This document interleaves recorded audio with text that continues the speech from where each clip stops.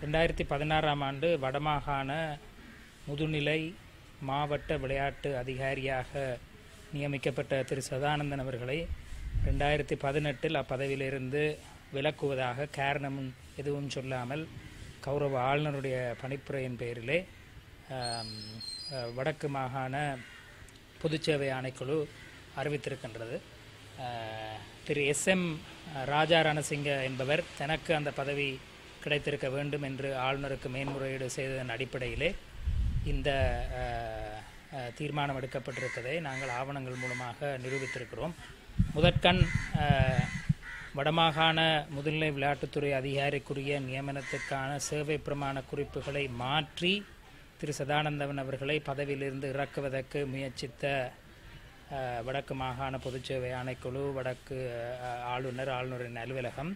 பின்னர் அதனை கைவிட்டு முறையாக ரெண்டாயிரத்தி பதினாறில் அவர் நியமிக்கப்பட்டிருந்த பொழுதே இருந்த சேவை பிரமாண குறிப்புகள் முறையாக அமுல்படுத்தப்படவில்லை என்ற ஒரு சாக்கு போக்கை சொல்லி தற்பொழுது அந்த நியமனத்தை அவர்கள் ரத்து செய்திருக்கிறார்கள்.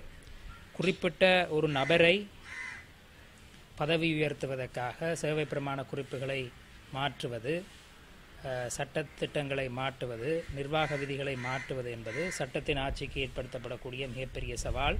ஆகவே குறித்த தமக்கு விருப்பமான நபர் ஒரு பதவிக்கு நேர்முகத் தேர்வில் முறையாக நடத்தப்பட்ட நேர்முகத் தேர்வில் அவர் அவருடைய அவர் அந்த பதவிக்கு நியமிக்கப்படவில்லை என்றால் தேவைப்பட்டால் ஒழுங்கு நியமனத்துக்கான ஒழுங்கு விதிகளையே மாற்றுவோம் என்ற வடக்கு பொதுச்சேவை மாகாண பொதுச்சேவை ஆணைக்குழுவினுடைய வடக்கு ஆளுநருடைய நிலைப்பாட்டை நாங்கள் கேள்விக்குட்படுத்தி கௌரவ மன்றிலே இன்று சென்ற வெள்ளிக்கிழமை நாங்கள் வழக்கு தாக்கல் செய்திருந்தோம்.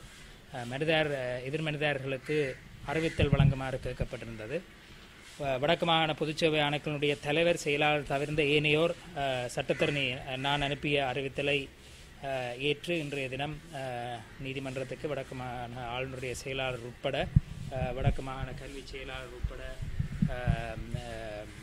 மொத்தம் ஐந்து எதிர்மனிதார்கள் வந்திருந்தார்கள். ஆனால் வடக்கு மாகாண பொதுச்சேவை ஆணைக்குழு எங்களுடைய அறிவித்தலை அவர்கள் வாங்குவதற்கு தயாராக இருக்கவில்லை. இன்று கௌரவ நீதிபதி அவர்கள் அந்த நடவடிக்கையை விமர்சித்திருந்தார். பொது அலுவலர்கள் அப்பாறாக நடந்து கொள்ளக்கூடாது என்று அரசு சட்டத்தரணியை அவர்களுக்கு அறிவுறுத்துமாறு என்று கட்டளையிட்டிருக்கின்றார்.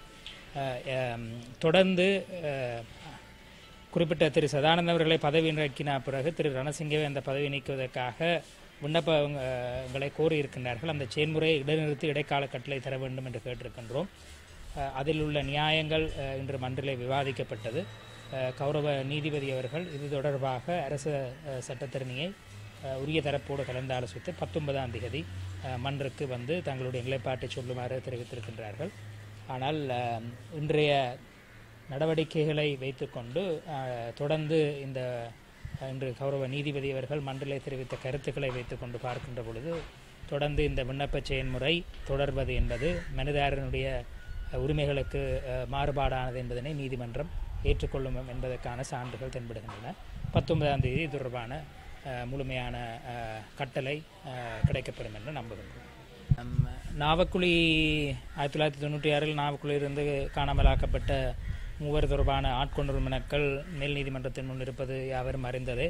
கடந்த தவணையின் பொழுது கடந்த செவ்வாய்க்கிழமை மன்னிக்க வேண்டும் புதன்கிழமை பதினோராம் தேதி நாங்கள் மேல் நீதிமன்றத்திலே மனிதர்கள் அச்சுறுத்தலுக்கு உட்படுத்தப்படுகின்றனர். நீதிமன்ற வளாகத்திலேயே புலனாய்வாளர்கள் வருகிறார்கள் என்ற விடயத்தை நாங்கள் எழுப்பியிருந்தமையும் உங்களுக்கு தெரிந்தது.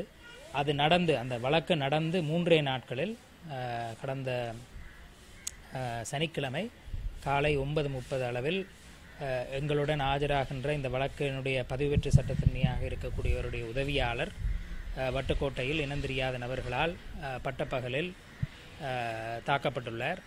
அவர் தன்னுடைய மகனோடு ஆறு வயது மகனோடு கோட்டக்காடு வைத்தியசாலையிலிருந்து அராலி விதியூடாக திரும்பிக் கொண்டிருந்த பொழுது வட்டுக்கோட்டை போலீஸ் நிலையத்துக்கு மிக அருகாமையில் வைத்து தாக்கப்பட்டுள்ளார்.